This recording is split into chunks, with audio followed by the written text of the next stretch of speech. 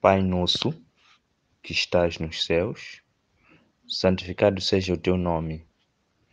Venha o teu reino, seja feita a tua vontade, na terra como no céu. O pão de cada dia dá-nos hoje. Perdoa-nos as nossas ofensas, assim como nós perdoamos aos que nos têm ofendido. Não nos deixes cair em tentação e livra-nos do mal, porque o teu é o reino, o poder e a glória para sempre. Amém.